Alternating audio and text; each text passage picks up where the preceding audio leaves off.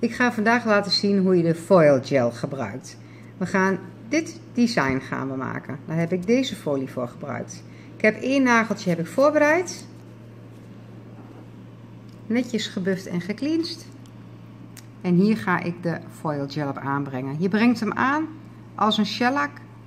Zorg er goed voor dat je de complete nagel raakt. En dan hard je hem uit 60 seconden in LED, 2 minuten in UV. Hij is nu uitgehard en nu ga ik dus de folie op de nagel plaatsen. Helemaal ruim overheen en dan ga je hem goed aandrukken. Daar kun je ook een handig poesetje voor gebruiken, maar ik kies ervoor om het met mijn duim te doen.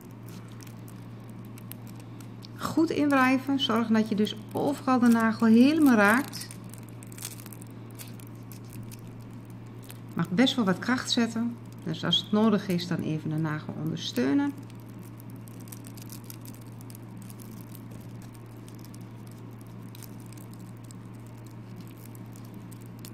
En op het moment dat je klaar bent en je denkt alles geraakt te hebben,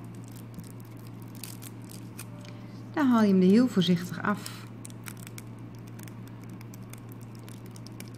Dan heb je een superleuk design.